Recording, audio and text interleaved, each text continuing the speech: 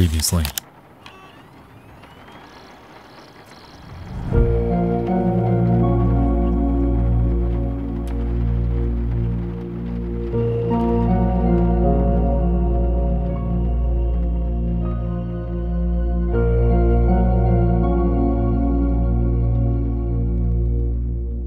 A person named Paul plays a video game called Petscop. The game isn't what it seems. Contrary to its outward appearance, it's loaded with themes of child endangerment, psychological abuse, and the constant insinuation that this game is alive. Inside the game, Paul finds a character named Marvin. Marvin has purportedly done something unforgivable, obscurely told to us by an equally enigmatic game developer named Rainer. Rainer's convinced that Marvin caused a windmill to disappear. And not only that, but so too a little girl named Lena. This story intertwines with that of a little girl named Carrie, who Paul finds planted all over Petscop. According to Rainer, at some point she was taken, locked inside of a school basement, and forced into isolation by her own father. Her father, named Marvin.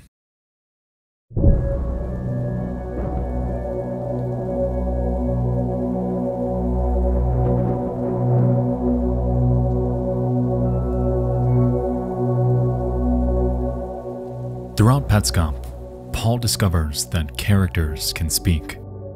They can alter textures, they can exhibit autonomy, and they all act like disjointed fragments of a human long gone.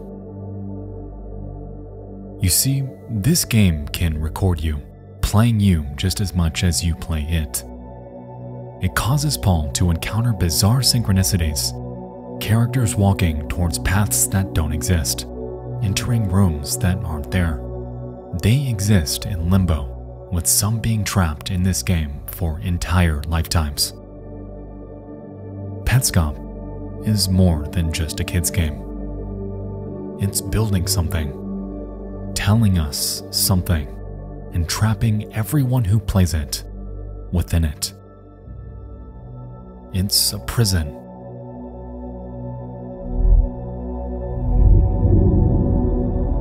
Inside the machine.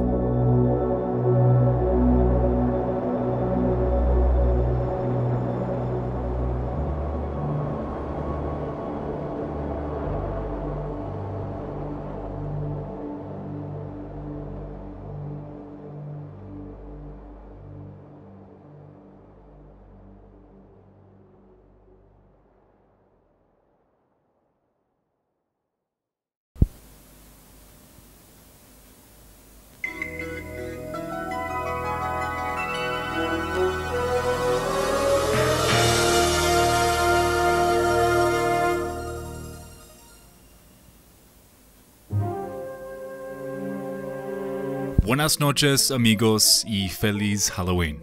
Before we begin, I'd like to tell you guys about tonight's video sponsor, Babbel. So, some of you may not know this, but I live in the great city of Houston, Texas. All my life, I've grown up around friends and family that speak fluent Spanish. However, there have been far too many times than I can count right now where I've wanted to respond to someone speaking Spanish to me, yet lacked the confidence or even knowledge of what to say back. Hola. Hola abuela, ¿cómo estás? Ay, mi precioso nieto. Finalmente tomaste el tiempo de llamarme. Pero estoy muy bien. And that is why I've recently taken up Spanish lessons with Babbel. Babbel is one of the top language learning apps in the world, designed by real language experts to help you engage in real-world, practical conversations. Right now, I'm making my way through their Spanish courses to brush up on my listening comprehension. However, the thing I love most about Babbel is how incredibly flexible it is. For instance, whenever estoy cocinando arroz con pollo, I can literally throw on their audio lessons and passively listen as I cook. It's easy, but more importantly, it's fun. And to me, that's what matters most about learning and, more importantly, speaking an entirely new language. Put your free time to use and check out the link in the description to get 60% off your subscription to Babbel. Thank you so much again to Babbel for sponsoring this video. Now, it's time for Petscop 2.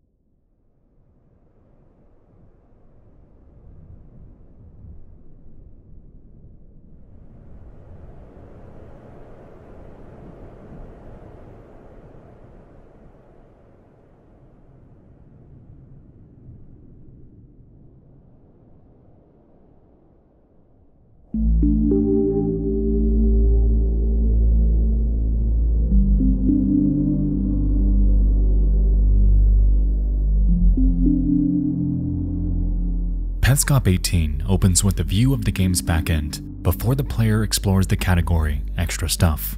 While in here, we're shown concept art of various pets and our player character, who we finally learn is called the Guardian.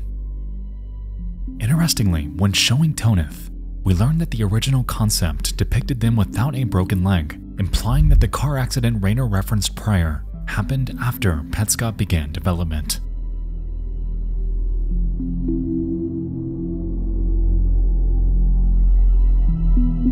Petscop 19 explores the recording section. Here, we observe hundreds of archived gameplay files from various generations of Petscop. Curiously, the most recent one is labeled Family, implying that the gameplay we're viewing right now may not be Paul, but them. I mean, after all, he is a bit quiet. From here, we can see troves of names from earlier generations, suggesting that these early adopters may be some form of beta testers. This is further supported when they scroll all the way back to the very first one, in which we can observe a test room with highly rudimentary movement.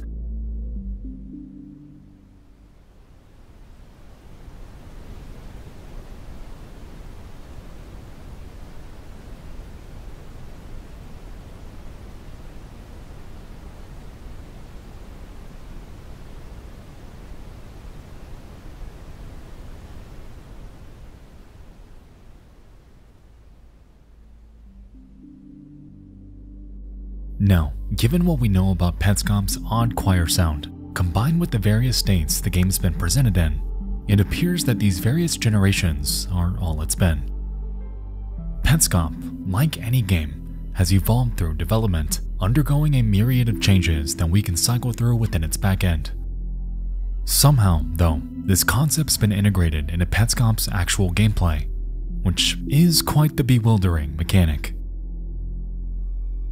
After this, they find and select Mike's recording from Generation 2, dropping them in a room with the canvas.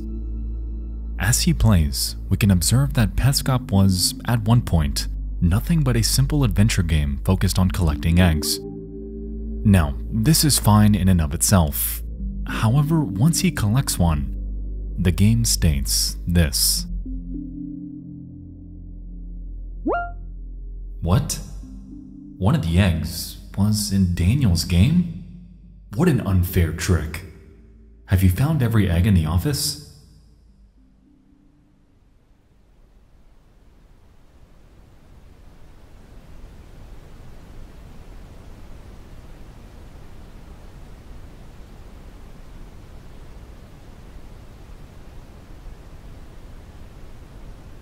This all but establishes the identity of Rainer. It was an alias for Daniel, someone we were previously informed was Carrie's cousin. Now, with this context, let's think back here.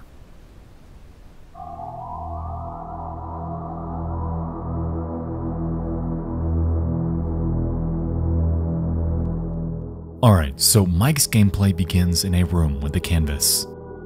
Tonith's description mentions a painter. Tonith's description also references both Michael and a car accident. And on top of all of this, Ronith's description makes reference to a baby brother looking both ways on a road, which ultimately leaves me to wonder what if that story he told wasn't about a dog, but Mike, Daniel's little brother? As the video draws to an end, we observe bits of gameplay from other players. Care, Bell, James, and Amber, all exhibiting wildly different gameplay styles. In some capacity, these gameplay styles seem to have carried over to the final game though, as all the way back in Amber's room, we can observe the real one just sitting there.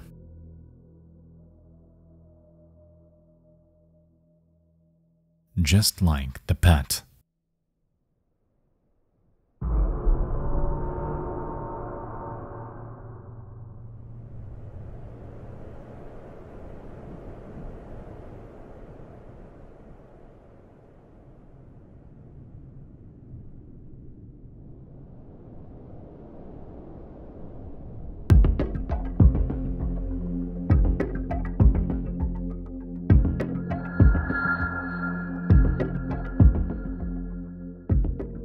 Petscop 20 focuses on Marvin. At the beginning, we can see him start a new file, poke around the gift plane, and collect a few pets from Eve and Care.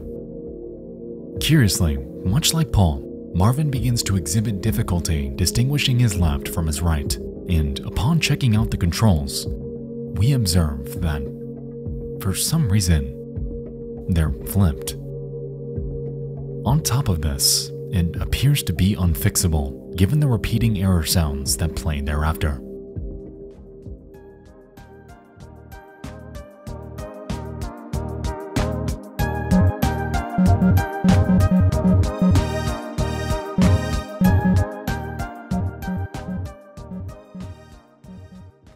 This game is stuck in this control scheme, and for all we know, could have been this way for Paul as well.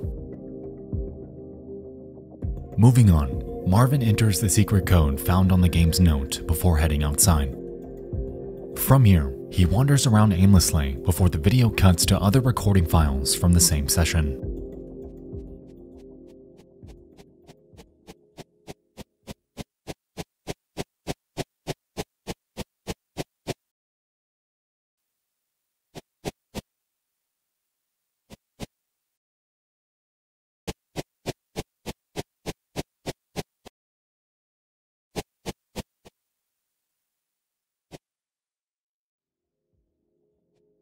Looking at this, it's clear that he has no idea what the hell he's doing, or is even supposed to for that matter.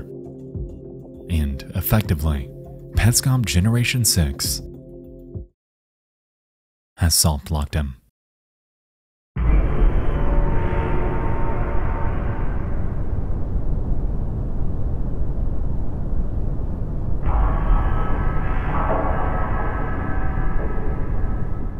Rainer updates the game to Generation 7 and gives it back to Marvin.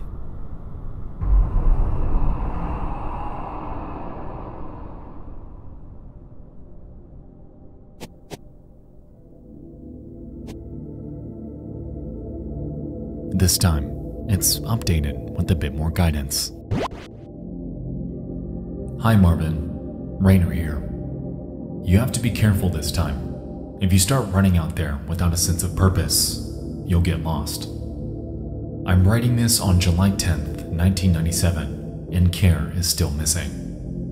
We're searching. Last weekend we almost got lost ourselves. Your search is harder. Beyond here, there are no landmarks. But this model of a brick building, though crude, should still be familiar to you. Where is this building? Again, as Marvin wanders, Rainer continues to pop in. From here, I want you to find a grave. You know the grave I'm talking about. It's definitely out here somewhere. It's unmarked, of course. That's the trouble. You're the only person who can find it.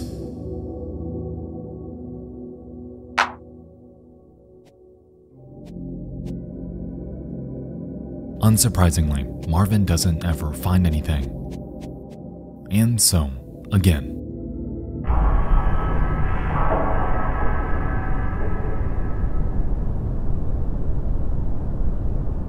Petscop is retooled, giving us Generation 8.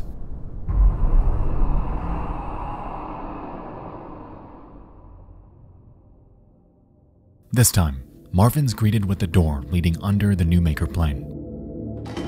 He opens it and heads inside before stumbling upon an interesting discovery.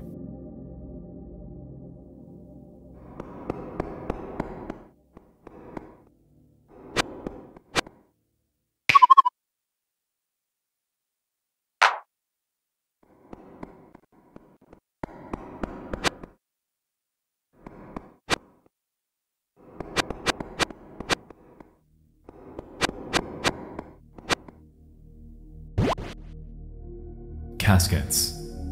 When these are done, they'll be great. Anyone who sees them is sure to become part of the family. Upon examining the first one, we can observe a chalkboard with something written on it, with the description reading This one's called Casket 4. Five words written on a chalkboard in the dirty building you inhabit. The second is something we might recognize because it's from the room within Marvin's home. These so called caskets are the censored objects originally teased in Petscop 7, fully unveiled for the very first time. This one's called Casket 3. After kicking you out of the house, your wife started painting the walls black to cover the stencils. I helped. She made it feel urgent. That Saturday, busy with work, she penned a note. It contained a list of objects.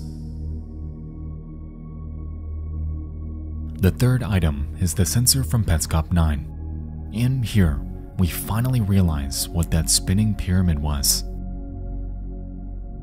It was Care's head. This one is called Casket 2. As I painted, I watched Care dance around the house.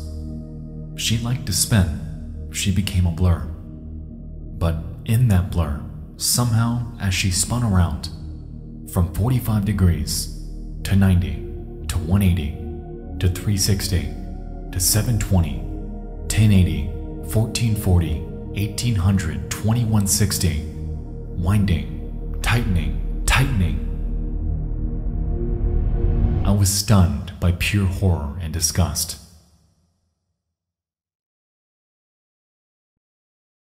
And last but not least, item 4 the censored object from Paul's bedroom.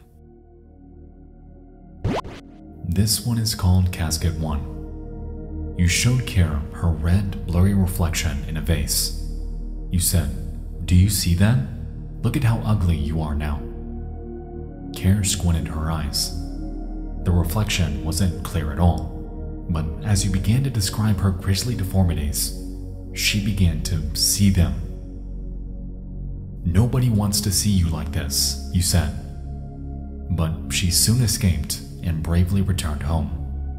In her bathroom mirror, she saw a clear picture. As we can recall, this was the one censor that unnerved Paul the most. It was the one that caused him to question what he was doing, that led him to doubt the purpose of the room he accidentally created. So, why did something as simple as a reflection in a flower vase bother him so badly? With this last item behind him, Marvin then makes his way to the next room, labeled Places. The first photo he analyzes displays a park bench with a censor over it. The second, his greenhouse. The third, the school. And the fourth, the windmill. Now, going by where he came from, it appears that there indeed was a hallway where Marvin was running in Petscop 8. Paul just couldn't see it because this generation was custom made, tailored specifically for Marvin. Following this, Marvin makes his way to the yard and inspects Michael's gravestone. Oddly, though, its description stays there. No matter what he does, it persists front and center, almost like Rainer's rubbing salt in a wound.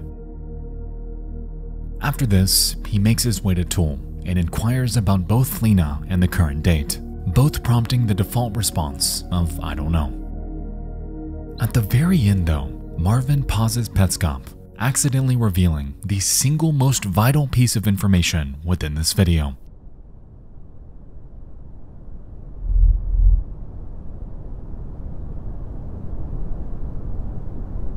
Tonith is the only pet within Marvin's compendium, conveniently shown after the persistence of Mike's gravestone quote.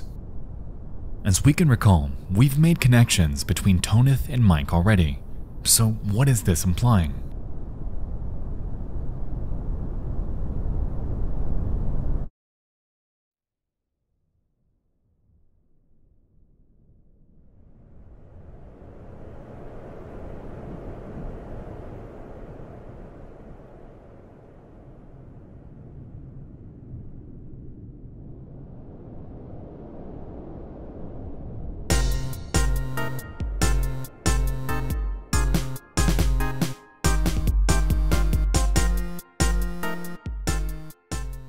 Petscop 21 is Care dancing to the rhythm of the sign by Ace of Base for 3 minutes straight.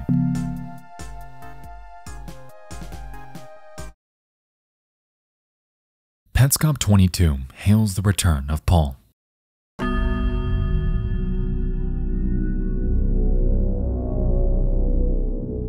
Here, we can observe a demo recording of Generation 8 in which he asks Tool, Where was the windmill? Following this, we listen in on a phone call in which Paul explains to his friend that Tool responded with what seems to be coordinates. Yeah, so I, I, I went up and I typed, "Where is the windmill?" and that didn't work, and so, uh, I tried, "Where was the windmill?" and that's how I got the text in the picture. Yeah, yeah, I looked them up. The top numbers, I looked them up. Uh, you're gonna want to look them up yourself. Yeah, punch them in. I know. I know, me too. That, that, that was what, the first, first thought, first thought. There's not a lot of detail, uh, but it looks like a stone, right?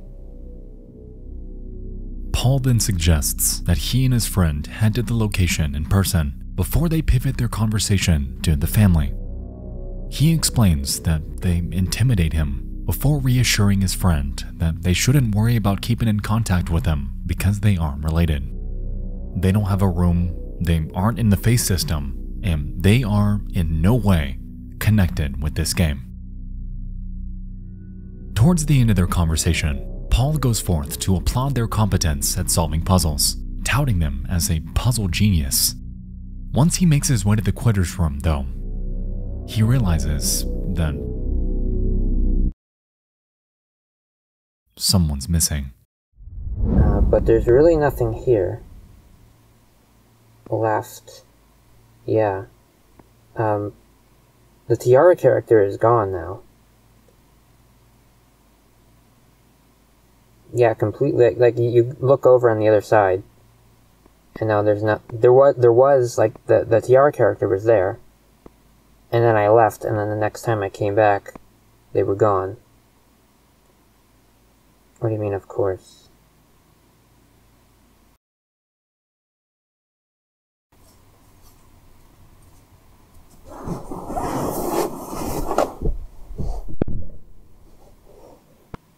What? Why would I be in a car? I'm playing Petscop. Why would I be playing Petscop in a car? the fuck? So, out of nowhere, his friend inquires on whether he's playing Petscop in a car. Paul, of course, denies it. Yet, given the sound we heard at the end of Petscop 13,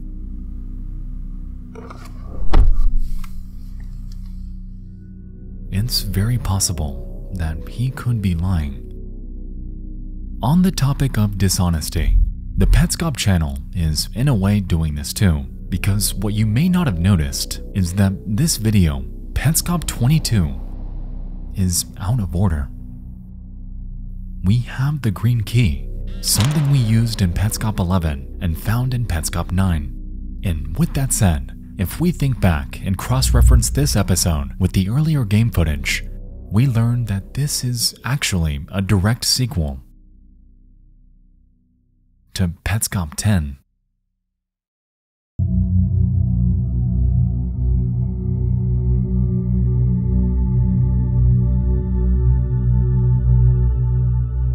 This realization implies two things.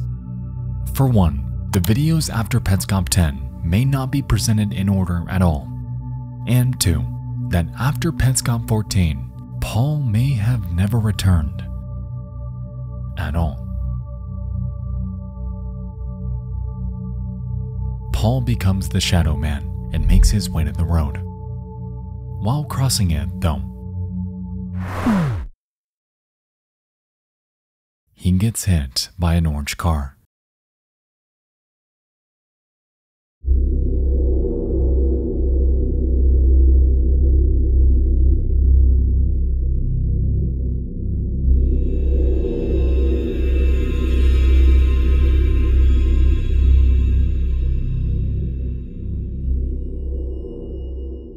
To his dismay, Paul explains to his friend that he forgot to start the recording, unaware that the game's been watching him this entire time. And so he fumbles with his equipment to figure it out before he's greeted with this. Y- shit. No, I fucking just start. Forgot to start the recording. They won't like that. So I, I, I, I missed that. I did not, was not able to capture that. I wonder if I can get that to happen. Fuck.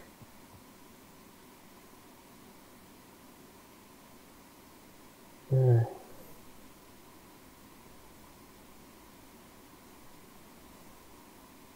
Paul.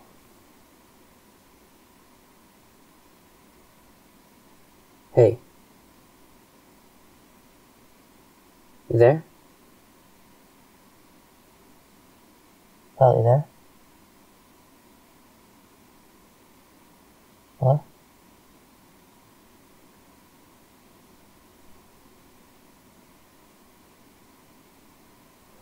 Shit. What are you doing there? Why are you just standing there?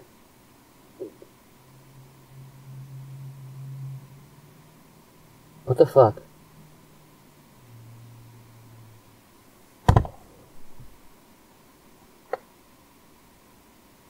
You want me to do something?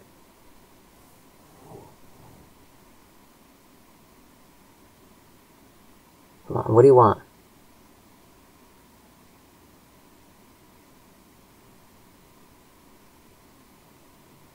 I know you're trying to say something to me. What do you want? What do you want?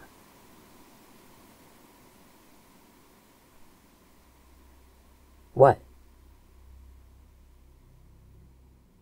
What? What? All this time, Paul's friend wasn't just a friend.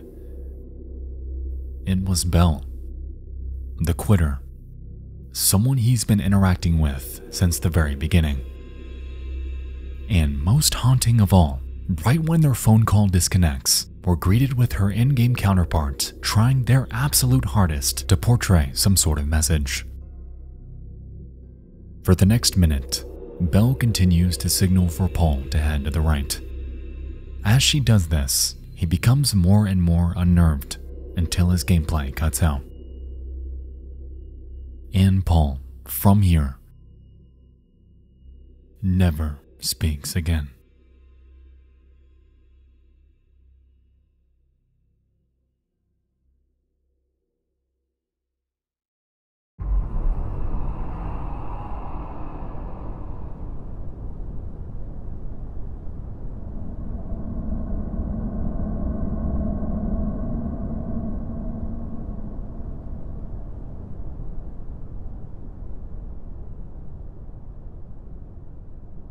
We're greeted with the clock demo and are dropped back at the park bench. Instead of a regular demo, however, what we're observing is the room impulse mechanic we saw earlier, this time centering in on one single AI as they make their way inside the school. In here, they poke around a bit like normal before again encountering the girl wall. As they continue exploring, though, the game continuously throws them back in front of it.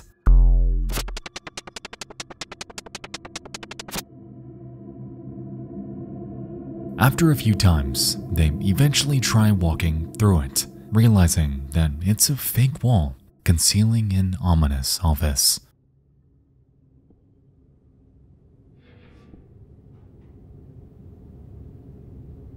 A counselor greets the player.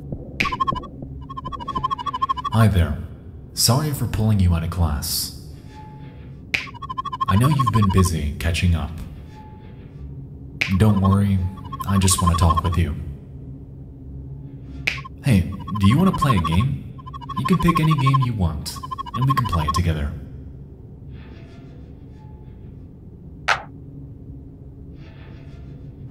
From here, they're shown a shelf with four games Accident, Rotation, Checkers, and Grave Robber. The player picks the latter, and they begin their game.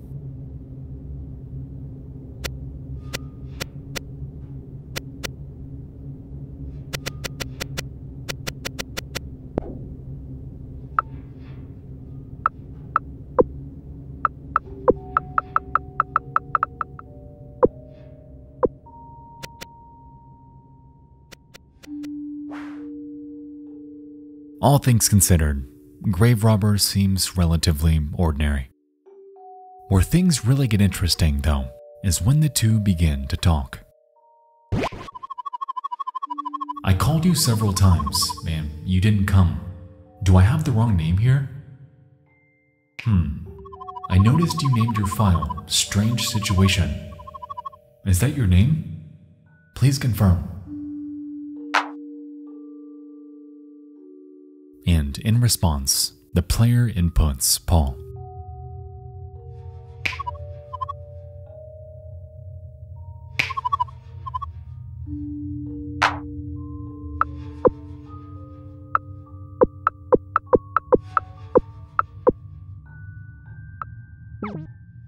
Are you right handed or left handed?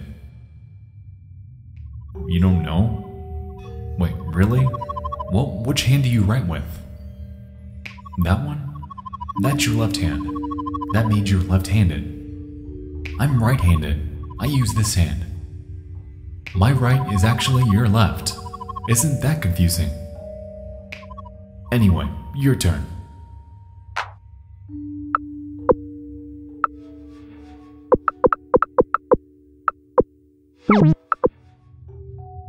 Kids shouldn't say swear words. Do you know why? It just doesn't sound right. It's disturbing. You should choose cleaner words, even when you're really angry. Your turn.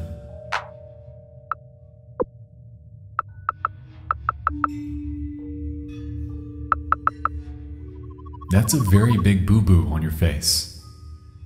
We're gonna help you. Together. Everyone is. When you reach for your shoes, your shoes will be there. When you walk through a doorway, the door will be open. Wherever you go, the floor will continue under your feet. Every move you make will be made valid. Everything you say will become real. Everything you say will become the truth. Your turn.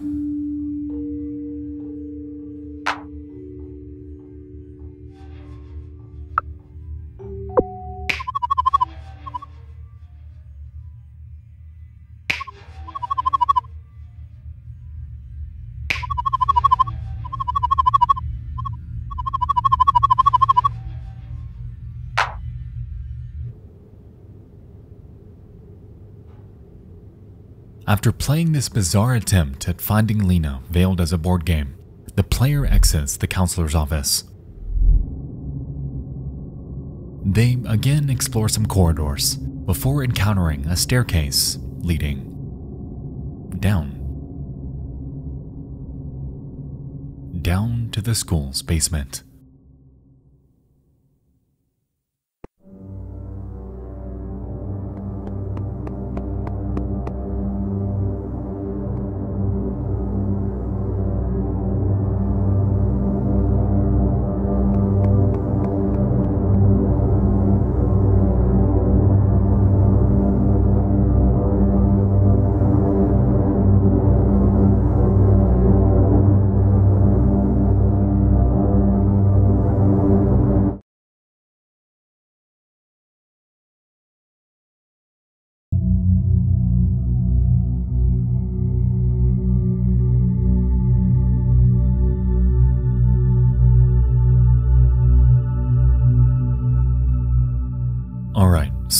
With our knowledge of Petscop 11 being a sequel to the beginning of this video, we can assume that, at least after encountering Belle, that Paul is or was okay. With the video's latter half though, combined with what we know about AI and how the room impulse system works, we can assume that this gameplay isn't being done by the physical Paul, but rather his in-game alternate. It is, above every other, the most sophisticated one available since it was the only one able to make it all the way inside the school. This could explain Paul's prior apprehension about continuing this game, coinciding with the family's insistence on him doing so. This group wants to see what happens because they're infatuated with the mystery Petscop is feeding them. In this case, Paul is being used. He's being copied. He's a vessel, a tool, to give them what they want. Speaking of infatuation, one specific incident may have sparked this within Daniel, explaining why Petscop was transformed from a simple egg collector to this AI building behemoth.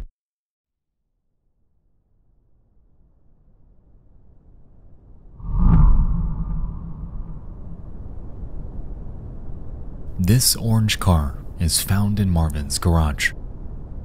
This orange car hits the Shadow Man. Tonith's description references a dog being hit by a car and contains a stark reference to Mike.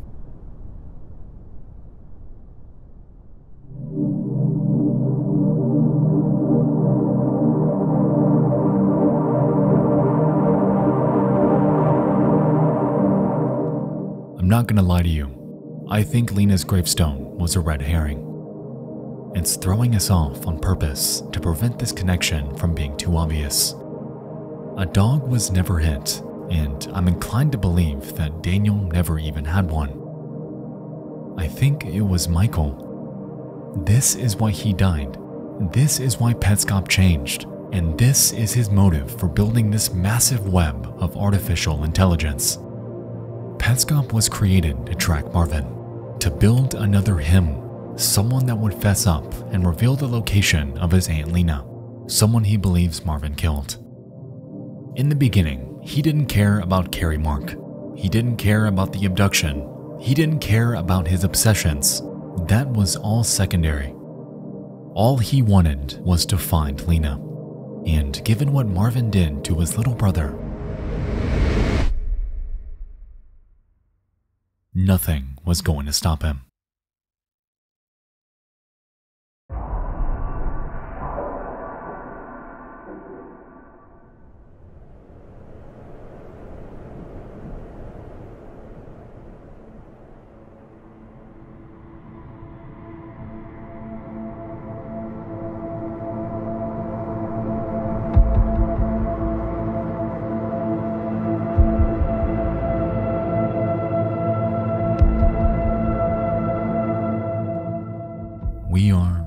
Inside the school. The player finds their way upstairs before being shown a Garalina logo and discovering what appears to be some sort of monitoring room. On the TV are the words Petscop Kids, and scattered around the room are various Tarnikov PCs, all displaying Garalina branding. Weirdly, right in the middle of everything is a massive holographic party hat with troves of smaller ones orbiting it. What it's doing is unknown. However, after about a minute, the green tool is used on it, rewarding 26 bits and capping us off at 500.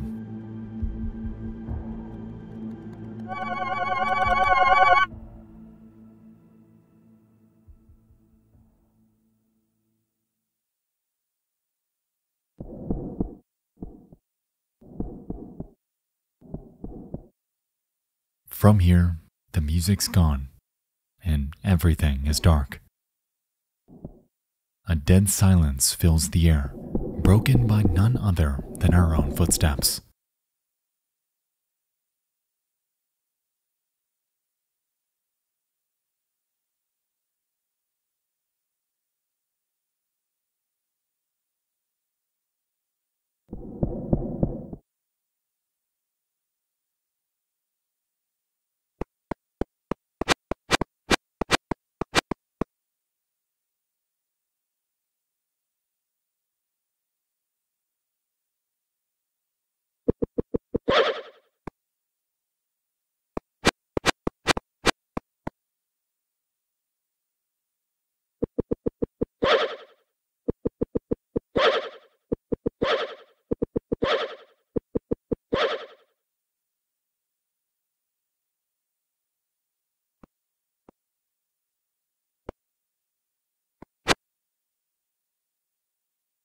Per his request, Paul examines eight unique ghost room layouts. Foolishly, he points out room 1 to Marvin, who, in response, claims this.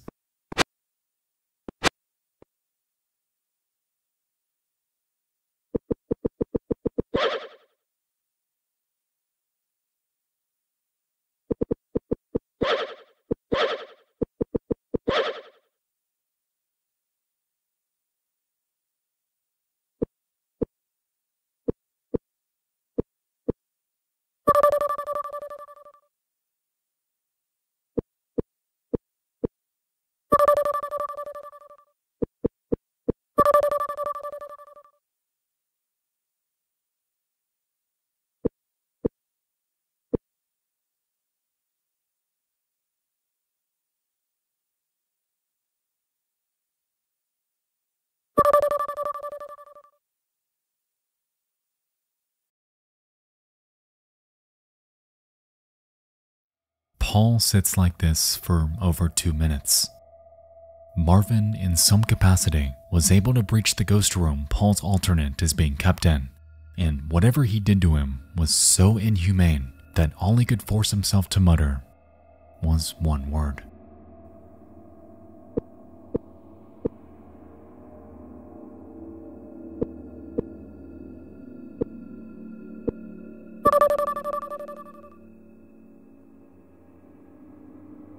It's unclear what exactly Marvin did to Paul, and I think that's what makes this episode one of the most haunting in the entire series.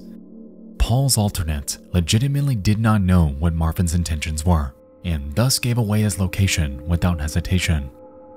Thankfully, he wasn't killed though, as after interacting with Belle for a bit, she shares a padlock combination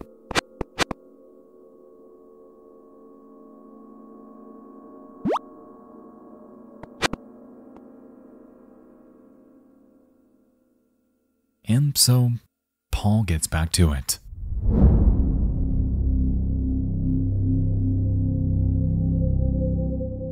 Paul manages to open the locker, revealing a striped Easter egg and the following note.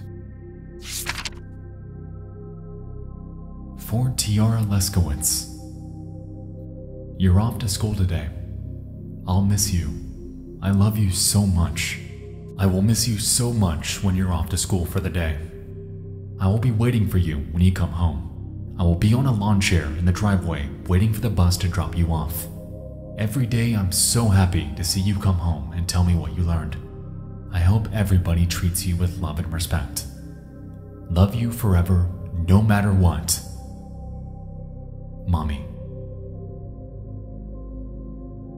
Curiously, we learn that Tiara and Lena share the same surname. However, the catch here is that this note is using Belle's rebirthed name, the one Daniel gave her. This leaves us to wonder if this note was actually written by her mother or someone else with other intentions. After all, the wording here is a bit forward. After this, Paul makes his way back to the school basement. While down there, he's greeted with a myriad of school supplies and another note from Daniel. You'll find the machine up ahead. This is the only entry or exit. You'll pass through this room again as you leave. Keep in mind everything here your baby will say.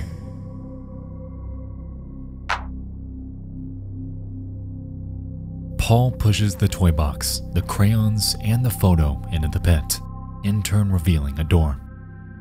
And upon heading inside of it, at last, at last, we find her.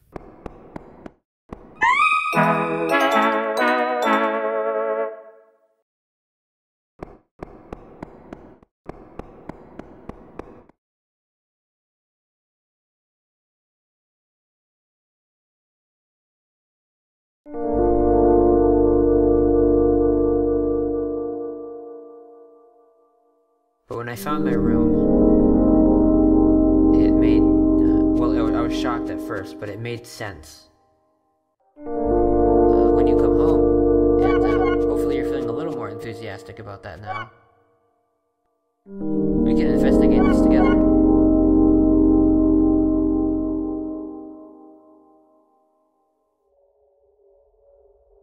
Care B is scared and pounding on the door.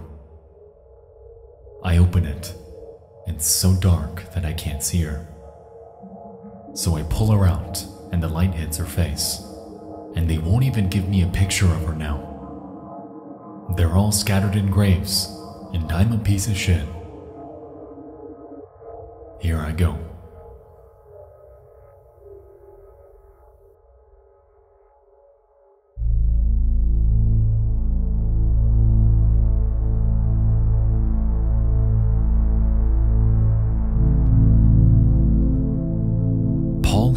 Sign he found earlier and heads to the back room. And while in here, he's greeted by Belle, Marvin, and a massive machine with an empty slot for care.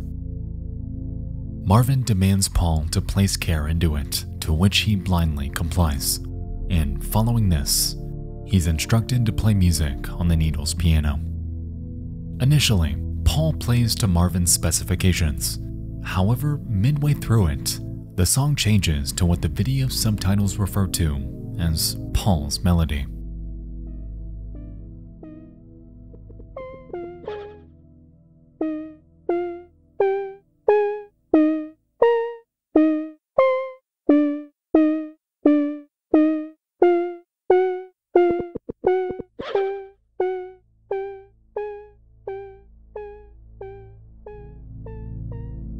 As Paul plays it, clear that he's messing something up. Marvin is pissed. The notes glow red, and expletives and demands to stop are thrown at him repeatedly. Paul doesn't, though. He keeps going, and so Marvin leaves, never to be seen again.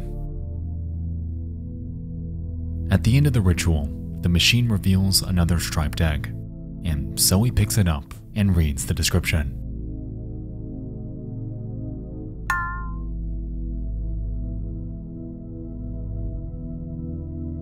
You should start thinking about that.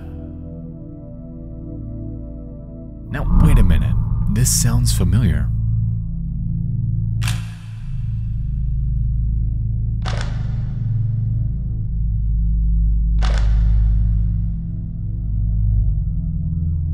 It's a reference to Petscop 1, the very last line for the description of Amber.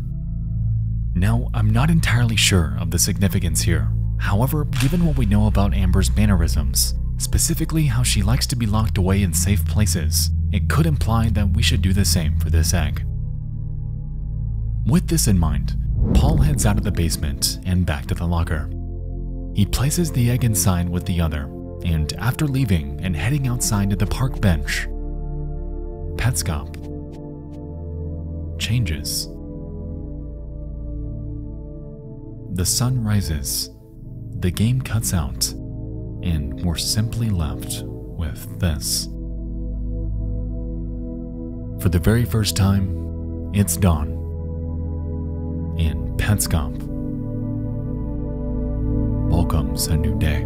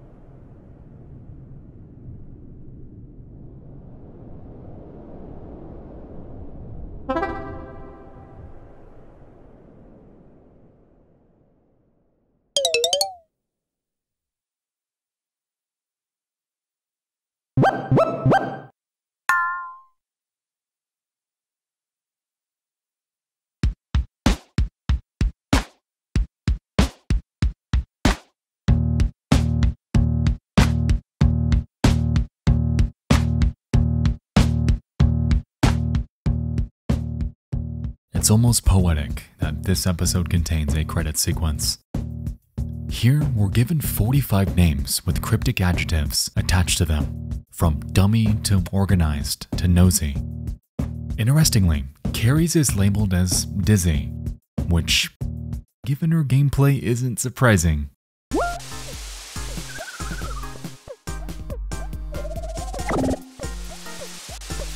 But that's beside the point. Once we make it to Mike, we see a familiar term painter, just like Tonith. Most of the video is just this. Yet, as the credits draw to an end, we're left with a parting message. It's for Mike and reads this Hi, Michael. Consider this your birthday card. Sorry, I can't put money in it. When I heard how many kids were coming to your party, I was impressed. Thank your big brother for letting you and your friends play games all day and making you so popular. Also, thank your other auntie for making this all possible. If you see her, I mean. Not everyone can. But anyway, happy 7th! I'm so, so, so sorry I couldn't be here. I hope my gift makes up for it. It's the one in the black box. Carrie helped me pick it out. Thank her. Opening gifts is so fun a lot of little mysteries, and all are solved. So cathartic. Anyway, I hope you have fun. See you later. Love you. Auntie Anna. P.S. Whatever you do, please don't shake the box. With this context, it appears that the names shown are Mike's friends and were likely those who playtested this game before his birthday party. Considering that Anna refers to the game as the birthday card, it implies that it was accompanied by whatever was in the black box. And with her warning not to shake it, it's plausible that it could have been a pet. I mean, come on, Petscop with a pet? It's the only fitting explanation, right? Anyway, about that reference to the other aunt, it seems to me that it may be a play on words. Anna tells Mike to thank Lena if he can see her, implying that she's alive and also that she knows it. Wherever Lena is at this point is and may always be unclear though, yet that was probably her goal this entire time. Whatever happened back during the windmill incident must have been so bad that it caused her to figuratively vanish from the face of the earth this entire time, we've assumed that her situation was the result of external circumstances. But with the context we've been given in the past 24 videos, I'm honestly led to believe that Lena didn't die, but instead disappeared on her own volition. She's been metaphorically rebirthed and is leading a new life. Yet Marvin, so caught up in the past, just can't accept the reality he's been given.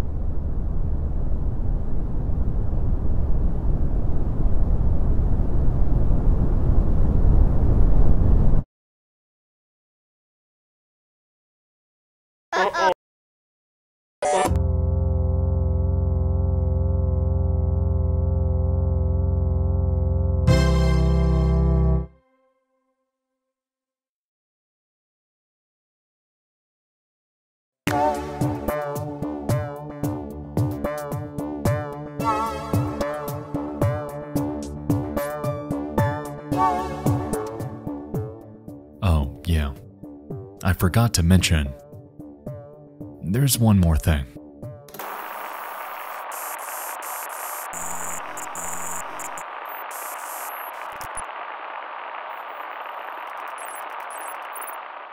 It's a soundtrack video with a surprise hidden for us at the very end.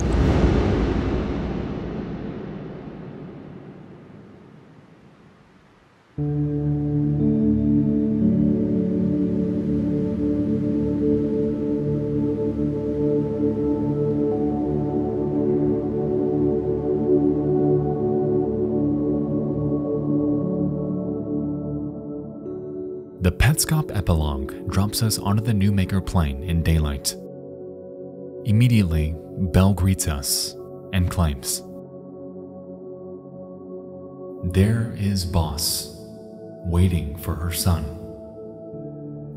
Paul, do you remember being born? Smuggled away, driving to your new house. Boss in driver's seat, me in back. I could not wait to be your friend.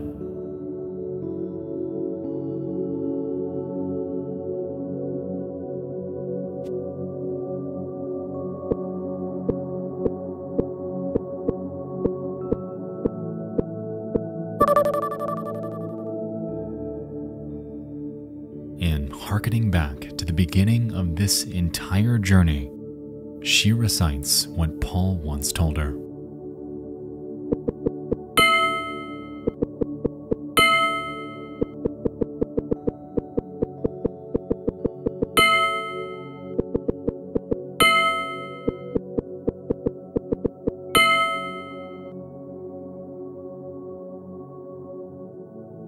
Belle then heads up to Lena, who's sitting on a park bench, and awaits Paul. Under her wing, on the other side of the party room window, they unite at last, ultimately bringing Petscop, this gargantuan, massively intricate behemoth,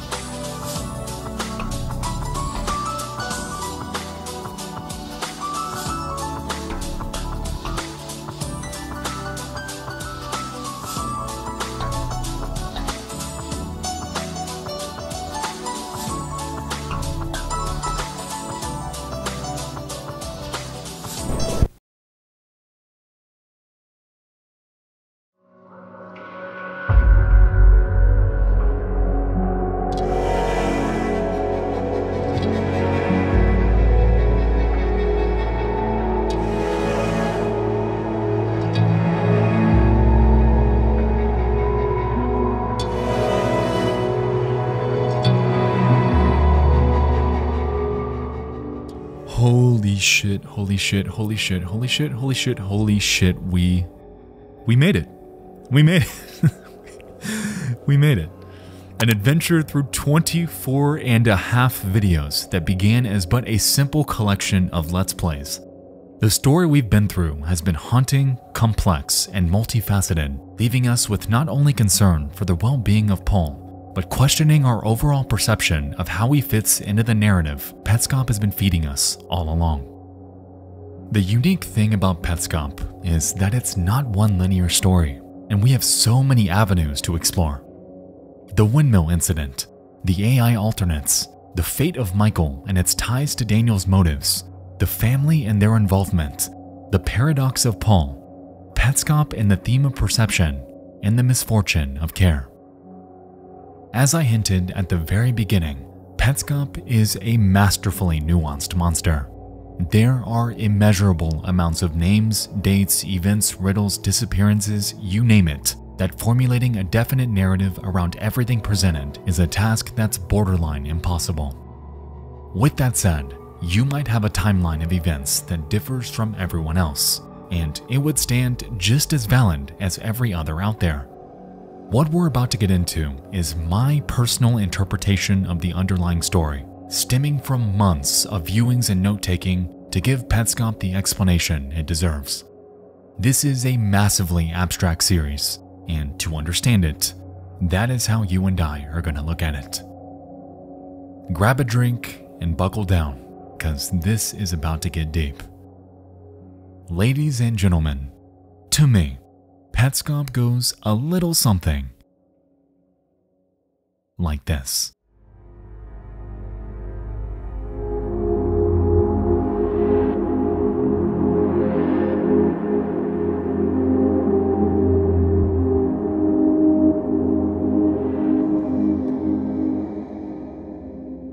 Throughout the series, one character has been far and above the most pivotal to unlocking Petscop, and that's Lena. From the very beginning, she's been a wild card, someone who just up and vanished and is the primary catalyst of Marvin's wild obsession with rebirthing. Had Lena never disappeared, Marvin likely wouldn't have spiraled into madness, wouldn't have taken care, wouldn't have had Rainer on his ass, and wouldn't have had a single thing to do with the original Petscop game. At all. Given the wording from Rainer's note all the way back in Petscop 9, we assume that Lena died, and it's even further supported with the gravestone later shown in Petscop 17. Like I touched on earlier though, I do not believe she was ever killed. This is and has always been merely assumed. We'll delve into specifics in a moment, but for now, let's entertain something. Petscop is a video game. Petscop was developed by Daniel. Every single thing, from the intimate knowledge of Marvin's thoughts about Carrie to having awareness about her being locked up in the school, were all programmed in with purpose by him. Everything is from his perspective, which is a notion that Petscop has entertained numerous times throughout this series. In Petscop 14, Daniel presented a riddle. There are two pictures of a door. In the first picture, the door is closed. In the second picture, taken later, the door is open. Nobody opened the door. The door did not open itself. The door, in fact, did not open at all. What happened?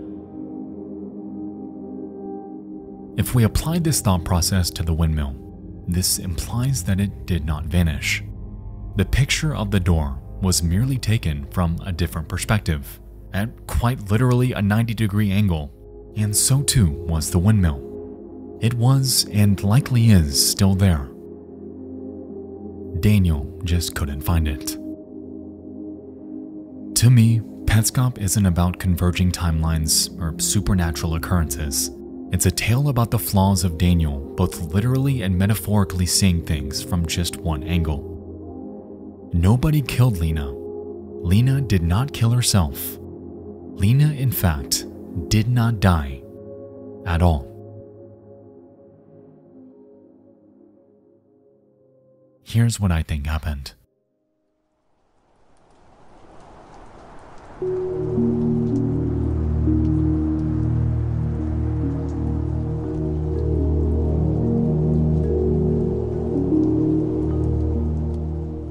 On an ordinary day in 1977, Lena Leskowitz, Anna Leskowitz, and Marvin Mark all visit an old, derelict windmill.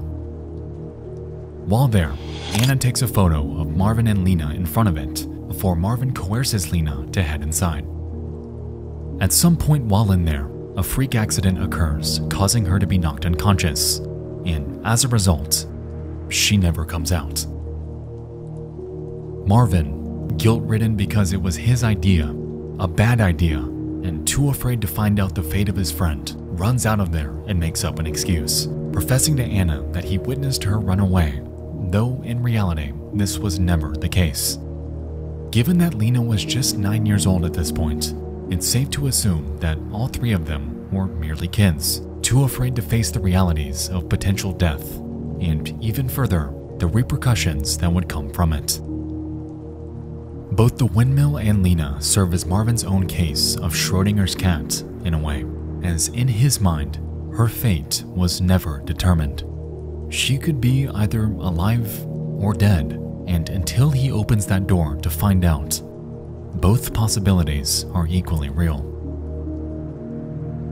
After he leads her away and pretends to search for her, Anna takes another photo. It's just Marvin, no friend because she's unconscious, and no windmill because it's literally behind them. They never find her. And Lena is now missing.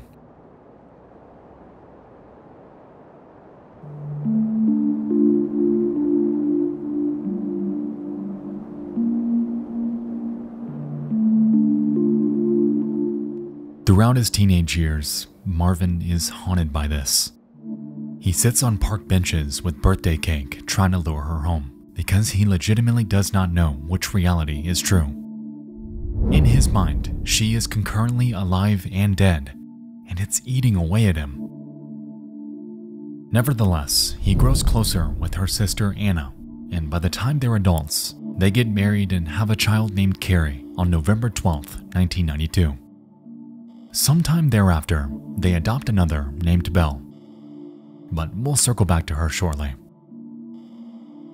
Carrie is just like you or me. She's ordinary, her own person. To Marvin, however, there's a constant comparison plaguing him. His mind is stuck on Lena, constantly looping what took place when he was a kid. And so, he repeatedly compares Carrie to her like some sort of replacement, something to fill that void he inflicted upon himself. Being nothing like her, though, Marvin becomes more and more frustrated, and by the year 1995, he begins to tread the verge of insanity. This creates a massive rift within their marriage, ultimately setting the stage for a myriad of domestic issues to come.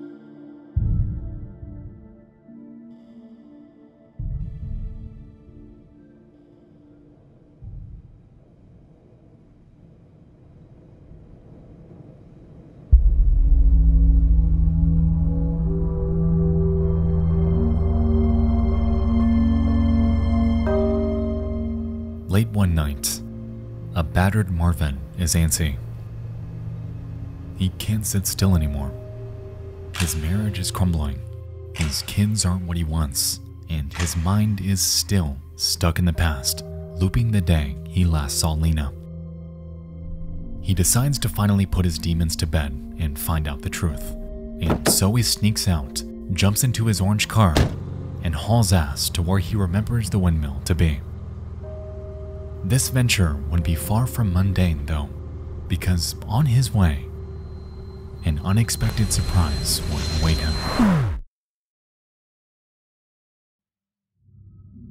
In the middle of the street is a kid named Michael Hammond who was violently run over by Marvin's orange car. This doesn't kill him, yet it disfigures him enough to where he soon would be. This is supported by the claims in Toneth, Roneth, and Care A's descriptions, and even further when Mike is labeled as a painter in Petscop 24, being a clear allusion to Toneth and their broken leg.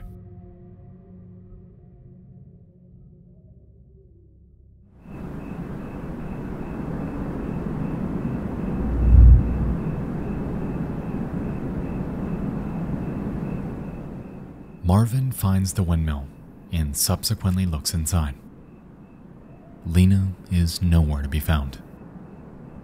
But what he doesn't realize is that while she may be alive, the atrocity he committed on the way to find her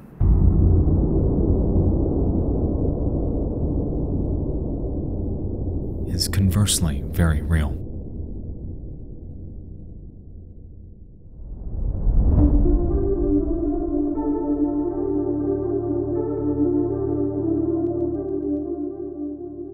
Back home, Daniel realizes his sibling hasn't returned. Nobody has answers, and nobody fesses up to it. Much like Lena, Michael A., the normal Mike, is never found and presumed dead. And the simple video game that Daniel was developing for his little brother now has no one to play it. Sometime that year, Daniel visits his Aunt Anna and Uncle Marvin's home and snoops around. He finds a photo of his missing Aunt Lena with Marvin, and accompanying it is another without her. Immediately, suspicion grows as this seemed to be one of the last photos she was ever seen in, and if Marvin were hiding something like this, what else was there? Daniel takes Petscop and completely reworks it from the ground up.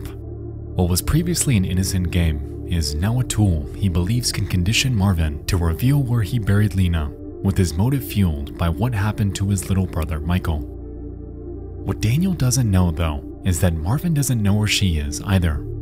Yet, that doesn't stop him from staying on his ass. That year, Daniel develops a new Petscop on the Tarnacomp PCs.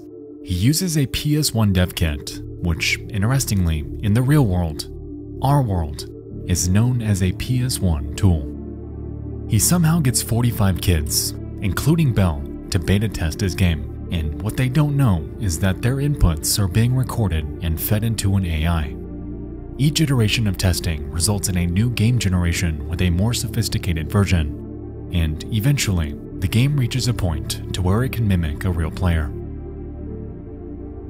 Meanwhile, back home, the rift in Marvin and Anna's relationship is at an all-time high.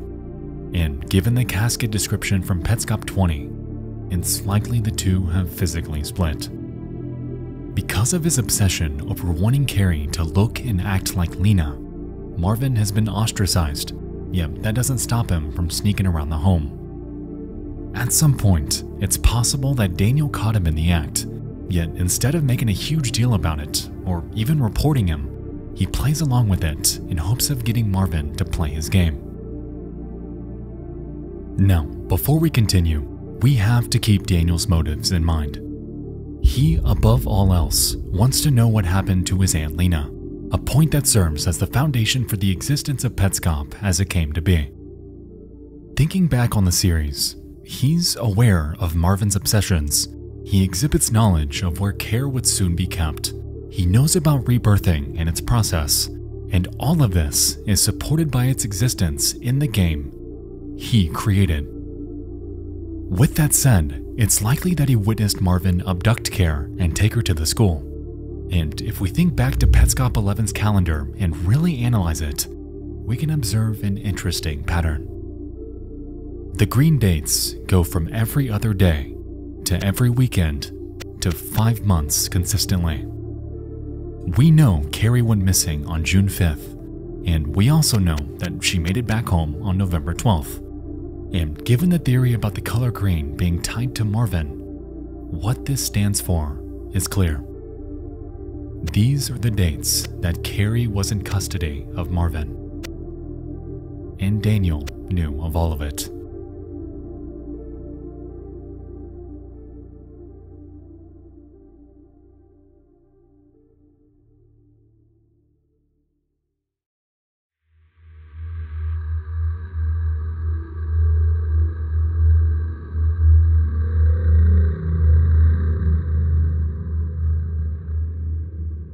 While holed up in the school with Carrie, Marvin begins playing Petscop Generation 6.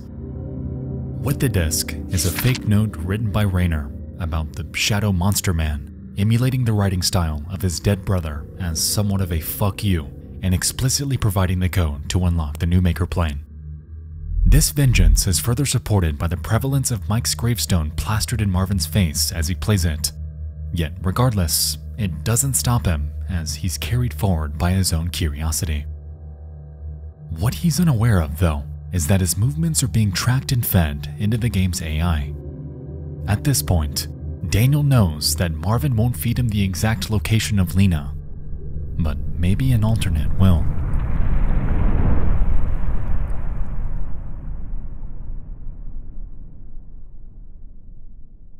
Care B is scared and pounding on the door. I open it. It's so dark that I can't see her.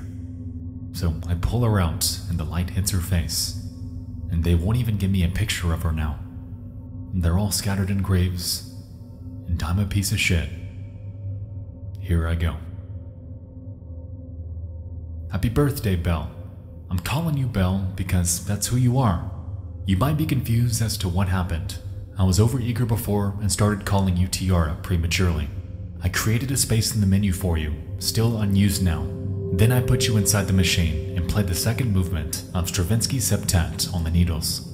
I played it wrong, but that would have been okay. If you hadn't given up halfway, you would still be Tiara. This is not what happened. And now I'm gone. Both of these messages come from Daniel and drive home an inconvenient truth about him. It seems that for an unspecified amount of time, Marvin coerced him into helping with rebirthing, and he went along with it. Because he was so focused on wanting Marvin to play Petscop, it's possible that Marvin wanted him to return the favor in a way by playing a hand in rebirthing his adopted daughter, Belle. At some point in the process, though, it fails due to Daniel's mistake in playing the ritual's music. On top of this, Belle likely resisted the operation. She escaped, but in Daniel and Marvin's eyes, she was a failure, a quitter, who never became what they wanted her to be. In a way, Daniel became stuck in a loop. He plays Marvin's game, so Marvin can play his. Yet, while on this mission, he became the very monster he's been targeting since the very beginning. And so, at some point, he takes it upon himself to find Lena alone. He digs and digs and digs, yet because she's alive, he never finds her. And with the failure of his mission, combined with the knowledge of Care's abduction and his abuse towards an innocent little girl, he breaks the cycle out of crushing guilt and takes his own life.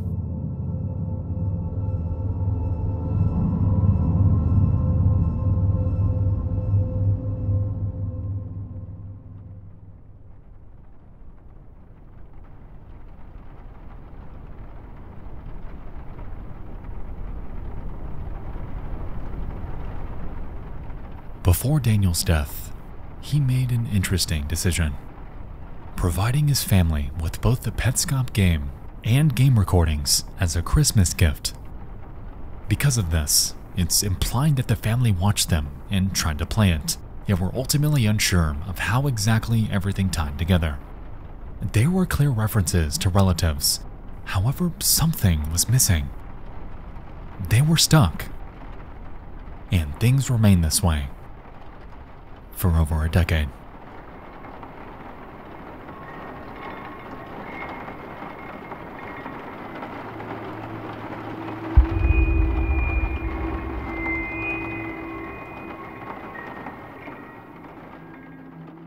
By the year 2017, the game is secretly planted within the home of Paul.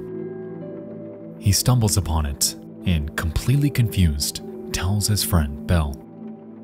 Belle, knowing about Petscop from her childhood years, doubts Paul's claims because decades have gone by without it ever coming up. It's an old demon, it being reawakened. It's something she thought she'd be able to bury for the rest of her life. Yet she's too afraid of retaliation from the family to admit this to Paul. Led by his own curiosity, Paul plays the game for the better part of a year and a half, recording and uploading his gameplay to YouTube. At some point, the family catches wind of this, and to his dismay, strongly urges him to keep going to unlock its secrets, to explore it, progress, and reveal the truth they so desperately crave. Why Paul was the one set to do this specifically, we'll get to in a second. But just know that they have a suspicion about him, and they're just trying to verify it.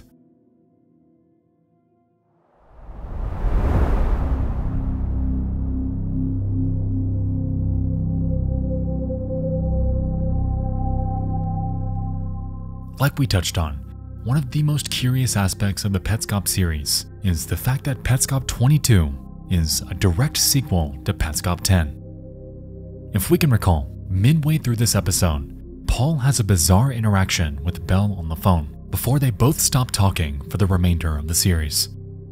With this in mind, we can assume that the majority of Petscop 11 through 24 are presented out of order.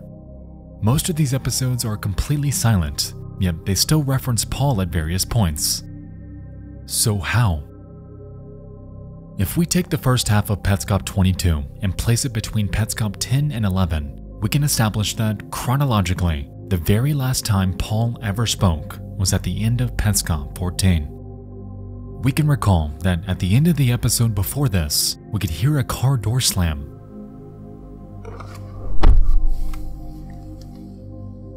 in considering the landscape of what would follow within this series. It's possible that he simply left. He stopped playing, yet the game itself hadn't. By this point, and much like Soma, it crafted a him inside of it, a version of his mind that acts, thinks, and plays like him without his physical self ever needing to be there. What Paul didn't know, though, is that this AI would be trapped within Petscop forever. Like it explicitly stated, it's an ever evolving organism, something constantly monitoring inputs and keeping each and every single Petscop kid, Marvin, Lena, and Belle, all trapped within its confines indefinitely. With that said, Paul's alternate is the one we observe from Petscop 15 onward. He's the one that explores the school, that finds the counselor, that plays grave robber, that is subjected to the everlasting torment of Marvin, and that finally unlocks the game's true ending from the Petscop epilogue. So, why did he leave? Why did the censors bother him so much? And how does Paul even fit into this puzzle?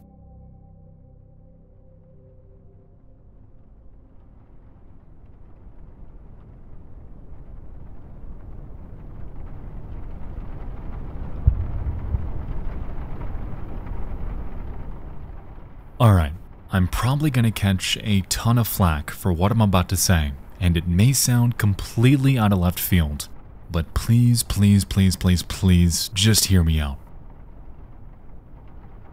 I do not think care ever existed.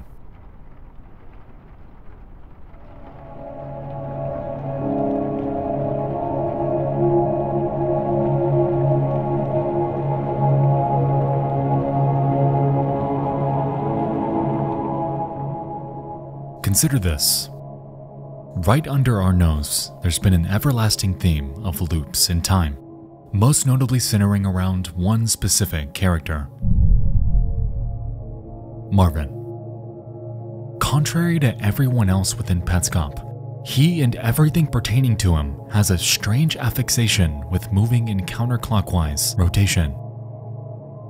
Stay with me here. As we've seen, Petscop contains a multitude of references to time. We have calendars, clocks, events happening on two separate years, houses being frozen in three separate states, time seemingly breaking and creating synchronicity. It's everywhere. One of the most prominent examples of this, though, came with Petscop 11. If we can recall, we observe Marvin on a park bench circling us, counterclockwise. And right before this, an enigmatic, unnumbered clock on a road that appears to operate normally until we realize that our perspective is completely off. The hour and minute hands do not progress, but rather, the dial itself heads counterclockwise. Progress is backwards, right is left. Petscop, as we experience it, is frozen in time. Thinking back to Petscop 6, Marvin rotates the camera counterclockwise. The items that spawn counterclockwise. And when he manipulates the windmill, once again, counterclockwise. Going even further, upon heading to Petscop 9, we can recall a window looking out to a park bench harboring a pinwheel and a slice of cake. The pinwheel is spinning backwards, and so too are the green key and pyramid inside the same room. Now, of course, this could all be coincidence. But is it really? If we jump to the epilogue, we can recall that we found Lena and Belle on the other side of the party room window. Our perspective is reversed, because by this point, Paul's alternate closed the loop. It's implied that he beat the game and was rewarded with the restoration of time, of progress, of an ability to leave the past where it is and always should have been in the first place. So, where am I going with this?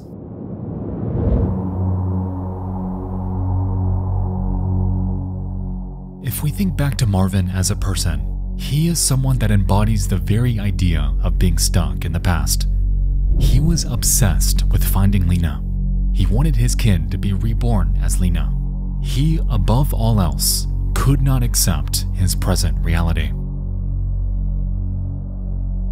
Care was born as Paul, and Carrie Mark was merely a hallucination of Marvin's mind. To me, Marvin was so fixated on having a girl that he could visualize Lena through that when this reality never happened, he tried to force it, pretending non existent people existed, pretending the floor continued under his feet, pretending his life was completely okay. For years, he was already descending into madness, and by the time Paul was born, it was the final piece that broke him. If we think back through the series, we know that Paul couldn't recall anyone ever going missing. He never once mentions a father. He becomes uneasy when he encounters the censored flower vase he realizes that he and Care share the exact same birthday, and he understands that the two bear an incredibly strong resemblance. Oh, and also, considering that in the child library, the face for Paul's room is quite literally that of Care's, just with eyebrows. The correlations are clear. Petscop was given to Paul because of a hunch that Paul was Care by the family. This is why they wanted him to keep playing.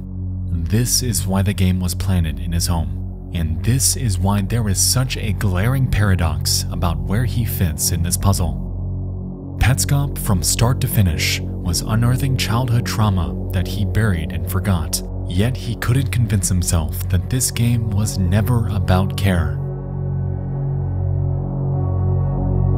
It was about him.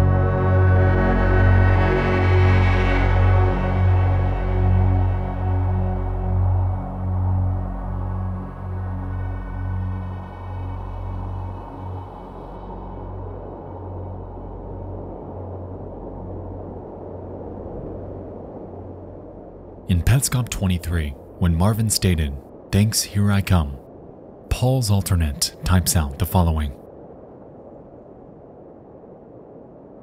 This doesn't translate to not in table, as that's an error message from the Petscop dialogue system. It, in actuality, translates to an incomplete word.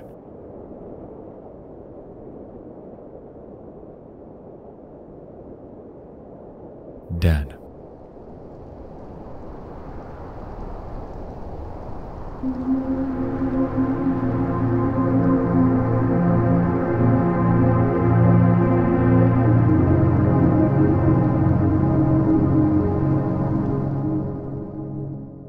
With new perspective on the other side of the window, Paul's true history is finally unveiled. Time is moving forward, not back. truth is emerging from secrecy. And his mom, who all along has been presumed dead, is revealed to be alive. All this time, she's been in hiding, just out of reach to where Marvin could never find her. Belle asks Paul if he remembers his childhood, if he remembers being born. She explains how Boss smuggled the two away one night and how they're all a family. Interestingly, though, if we once again analyze and translate the in game language, the word boss is never actually typed. Lena is. With this context, we can imply that once the two escaped from the school when they were kids, some sort of deal was made between Anna and Lena, where Anna would hand over custody in exchange for her children's safety. To make this possible, she changes her and her kids' names into what they are now, in a way rebirthing them through adoption.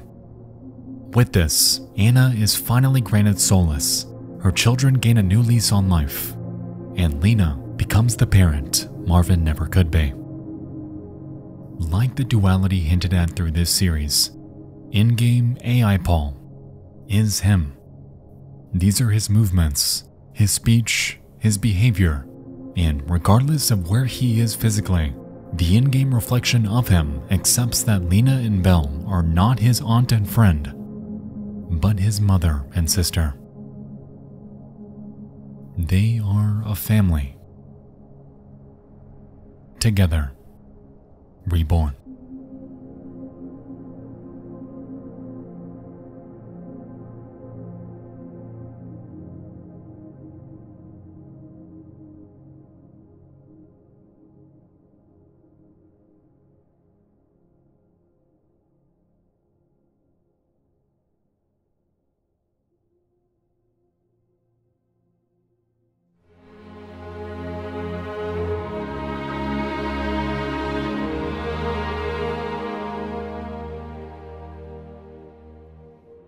Petscop is far and above one of the most beautifully complex stories that I have ever had the pleasure of attempting to piece together. Like I said, at the end of the day, this series is ultimately up to the interpretation of the viewer. There are so many alternative theories out there that stand just as valid as any other, and I implore you to read about them on r slash Petscop, through the troves of theory videos on YouTube, and most notably, through the comprehensive progress document linked down below. It was monumental in pointing out hints and clues, and I don't think this video would have been possible without its guidance. With that said though, there are still so many questions and loose ends that I wasn't quite able to piece together. For instance, how and when was the game planted in Paul's home? How did the family find him?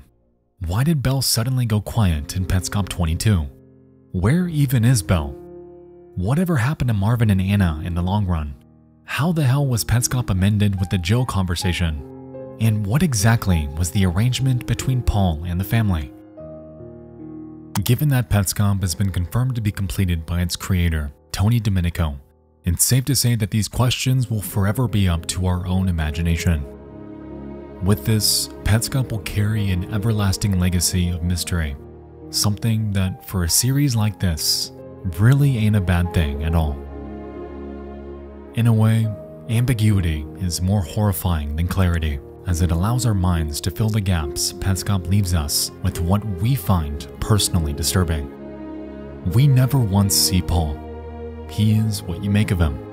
And so too with Belle, Marvin, Anna, Lena, Michael, Daniel, Jill, and everyone else involved. Petscop is a part of us, facilitated through an ominous tale about childhood abuse, toxic family dynamics, and the escape from that life into one of self discovery. I truly don't think there will ever be another series as finely tuned, intricate, and up for interpretation as Petscop. And if I'm being completely honest, I think that's what makes this one of the greatest works of media that I have ever seen. It's wild to me that this entire internet phenomenon all started with just one Reddit post of all things. But hey, when you craft something as alluring and ominous as Petscop, sometimes, that's all it takes.